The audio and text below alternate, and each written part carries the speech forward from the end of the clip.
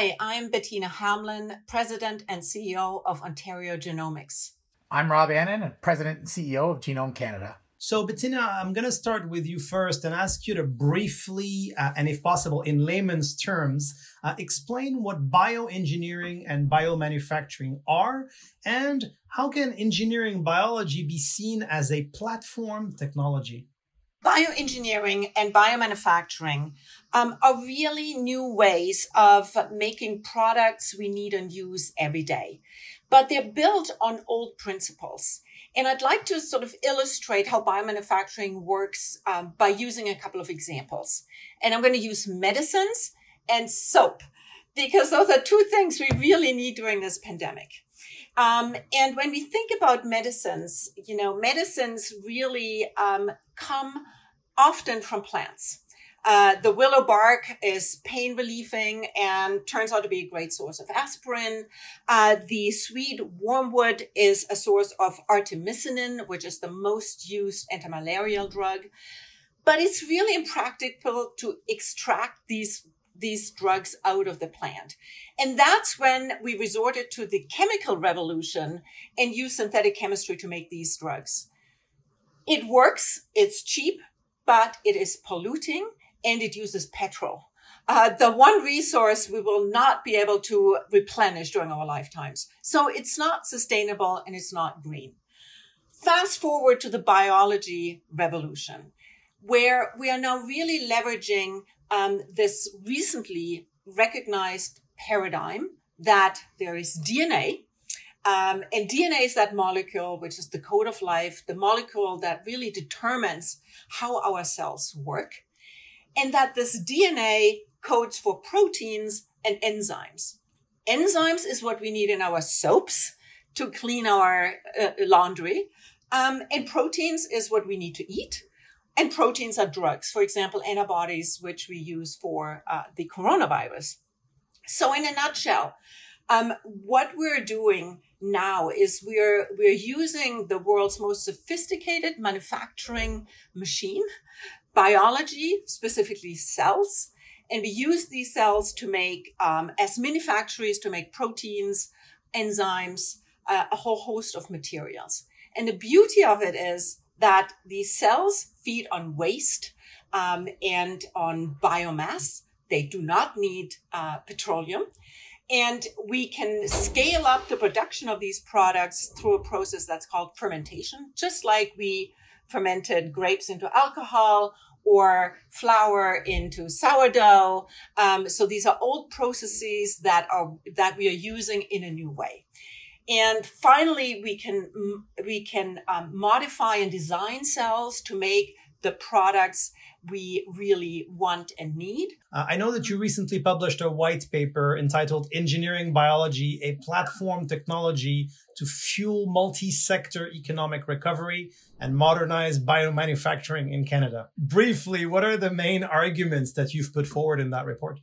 In that report, we made six recommendations, but I'm going to highlight three main points the first main point is really that um, engineering biology and biomanufacturing has a huge impact on multiple sectors of Canada's uh, economy. And by supporting a platform technology, uh, a single investment serves multiple sectors. The McKinsey uh, consultant firm has put out a report uh, last year that really described um, us entering a biorevolution where up to 60% of inputs into the economy could be biological, and that would be worth two to four trillion dollars annually in a global market. And it affects all these sectors health, food, agriculture, energy, all areas where Canada has strength. And so we should care about that. The second uh, point we're making is other jurisdictions have been investing heavily in engineering biology. Uh, the UK has created through 10 years of uh, investment a billion dollar of private sector investment now. The US has been in the game, China, Australia, Korea, Japan, the list goes on. And recently, uh, President Biden asked Eric Lander uh, to uh, come up with the US's new science policy with focus on engineering, biology, and artificial intelligence and the jobs of the futures. So other jurisdictions are doing it and recognizing it. And and what we're saying in the paper is that alone doesn't mean that Canada needs to follow. But we have strength in infrastructure in we have immense biomass that's required for biomanufacturing. We have a buzzing startup culture. We have created the strength in genomics in science in artificial intelligence. What we're saying is government now needs to make the appropriate follow-on investments so that we can leverage all of this um, and and lead the world in some specific areas and we point out that canada's uh, opportunities are in health, in advanced therapies, in uh, protein production, food security, and in waste upcycling. The third point um, I'd like to highlight is that in order to become a leader, we have to align on a national strategy and we have to have a roadmap uh, to really set out what is it needed. If in 2040 we want to be part of that big bioeconomy, we got to work backwards and figure out what we need to do now. And uh, we think that a public private partnership model is the right model to do that because that brings big industry, startup companies, and, and academia together. And what we're saying, bottom line also is we need government at the table. Government is really important to help catalyze industry investment. Industry can go all over the world. There's many areas where there's lots of biomass we need to bring um, industry here. We have set up a network that is called CanDesign to facilitate that, but we want all stakeholders to be part of that, including government. Well, that's a great segue for me to turn to, to Rob. Uh, you lead uh, Genome Canada, of course, which funds genomics research across the country, but also convenes. Uh, and in a sense, because you're federally funded, I suppose uh, you are also that natural bridge between the uh, constituents that Bettina is referring to. Do you think we need a roadmap for for for, for Canada? And uh, what role do you see Ontario Genomics, CanDesign, and other groups playing in its implementation? So, new sectors like engineering biology uh, thrive on collaboration and cooperation between all sorts of different actors. And we're talking here about public actors, but also private actors, startup companies, established firms, investment, and so on. Um, you know, a new sector, there's lots of opportunities, there's lots of different activities. It's really important to once in a while bring people together and, and share what we see as common opportunities, common pain points, uh, and, and, and, and collaborate on pooling efforts and resources in order to maximize impact. You know, examples of this kind of collaboration, especially between public and private sector, uh, is evident in something like, for instance, Silicon Valley, where you have you know uh, strong university presence through something like Stanford, uh, matched with a lot of startup companies with lots of new ideas. You have financing, and you have established companies, and together you end up with a really important mix of factors. You know, from the university side, you get new ideas coming out of research labs. You get a lot of talent coming out of students and training, and it's important the universities understand the, the, the opportunities in the community in order to be able to help shape that research, shape that training. You also end up, um, you know, with obviously startup companies and spinouts from those universities, but they need to be linked into some of the bigger and more established players. So we're really at a similar point, I would say, here in, in Canada, where we have a lot of really uh, important activity happening. We've got some great startups in this space. We certainly have established players uh, in different sectors, health, agriculture, natural resources, who are very active and interested in the space.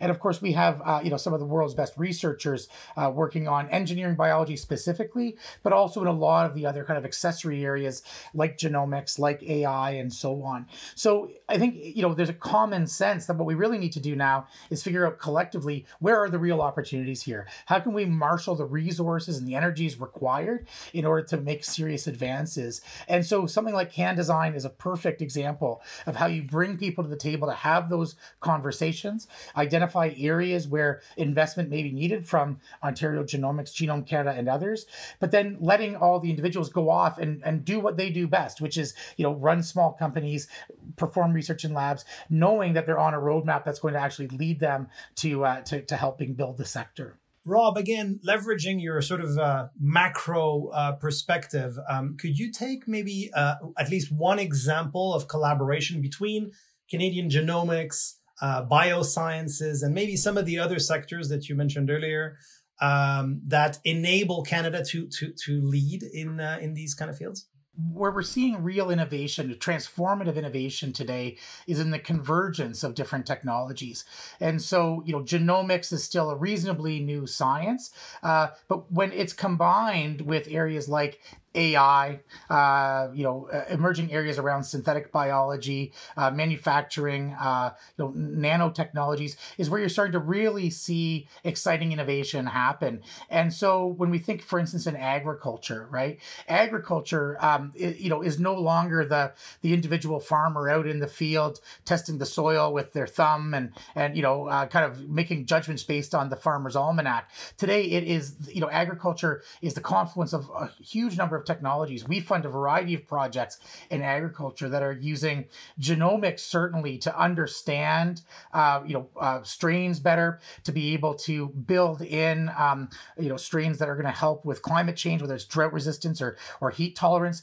But that technology, when combined with, say, soil microbiology and the ability to really understand the uh, the you know the, the composition of the soil in which those plants are going to be growing, combined with sensor technology, right, combined combined with um, other smart systems, you get the convergence of all of these kinds of technologies together is where you start to see real innovation.